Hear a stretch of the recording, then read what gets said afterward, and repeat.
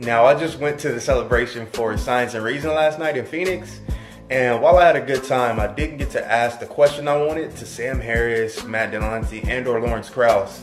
So I figured I'd ask it on YouTube in hopes they would see it or possibly have the YouTube community give me their answer to my question. Now, a few years back, there was a wave of atheism online, of which you were part of, that pretty much obliterated Christianity and the arguments for Christianity and religion now that Islam is the main focus, you started to see uh, popular conservatives like Steven Crowder, Ben Shapiro, or similar people like Jordan Peterson, etc., emphasize Christianity as a culture or system of values that's best for us, rather than a being in the sky watching us that we should fear.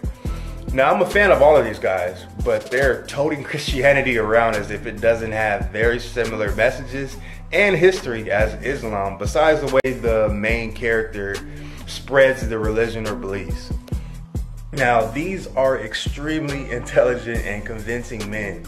So, what do you think is a good response to their blatant disregard of the consequences of their religion, the illogical thinking behind it, and their argument that we wouldn't reach higher levels of freedom, ethics, and morality without Christianity as a culture? And the reason why I ask this is because I feel like a lot of people hang on to their religion because they're scared of whatever sense of morality we have in Western culture dissipating without there being an elusive and stern esoteric entity that tells us what's best instead of admitting that we created and built ethics and our moral compass almost solely on what we can agree are universal truths that make our quality of life better and make it easier for us to live amongst each other without a constant threat of violence or death. You know what I'm saying? You know what I'm saying? Yeah, you know what I'm saying.